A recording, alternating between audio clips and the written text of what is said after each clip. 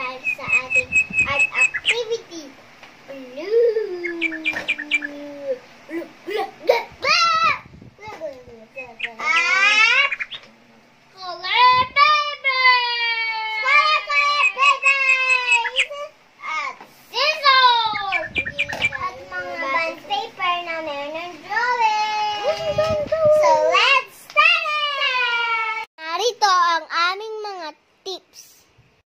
Kids, mag-ingat sa paggamit ng gunting.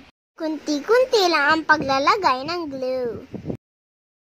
Gumamit kayo ng lalagyan para organize. Pwede kayong mag-drawing o mag-print ng inyong didikitan. So guys, ididikit na natin ang rectangle na to. Dito, dapat maayos at nakalimutan.